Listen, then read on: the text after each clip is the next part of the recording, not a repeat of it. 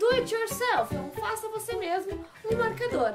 Mas esse do it yourself vai ser um pouquinho diferente, porque eu vou mostrar para vocês como marcar o lugar que vocês pararam a leitura e fazer isso, fazer um marcador disso em qualquer lugar que você estiver, mesmo que não for na sua casa.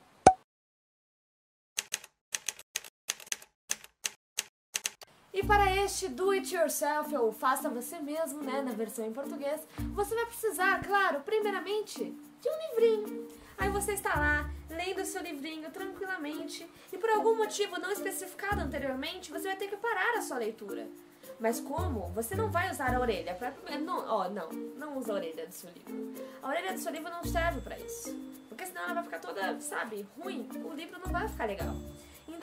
Você vai falar assim, hum, vou colocar aqui um marcador para eu não parar de ler. Que eu parei na página 219. Mas você não tem um marcador perto de você, porque os marcadores sempre são sequestrados pelos doentes. Então, o que você vai fazer? Agora chegou a parte do it yourself. Você pode ter uma nota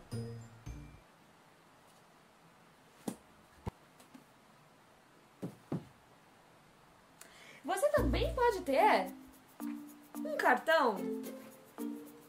Abri meu livro, botei um cartão. Ou então você pode ter um papel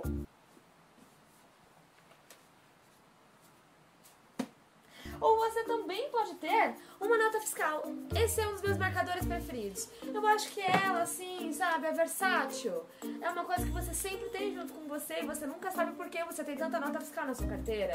E você tem a via, o comprovante, a notinha. Tem tanto, tanta coisa. Por que não utilizar de uma maneira útil, de verdade? E aí, pá, nunca mais esquecerei onde estará. E o meu segundo marcador preferido é muito versátil.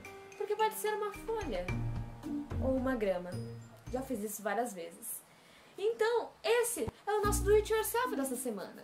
Eu sei que foi o do it yourself mais fácil que alguém já deve ter feito, porque é isso. É você aproveitar o que você tem ao seu redor e brincadeiras à parte, conseguir fazer com que aquilo seja útil para você.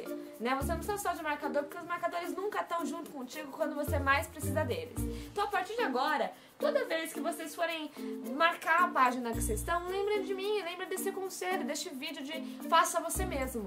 Porque todas as coisas ao seu, ao seu redor podem virar marcadores. E comentem aí embaixo se vocês usam algum outro objeto ou alguma outra coisa de marcador que eu tenha simplesmente esquecido. Eu espero que vocês tenham gostado, desculpa a brincadeira, mas basicamente eu acho que todo mundo precisava né, conversar sobre isso, sobre essa arte de criar novos marcadores. Um beijo e até o próximo vídeo. Tchau!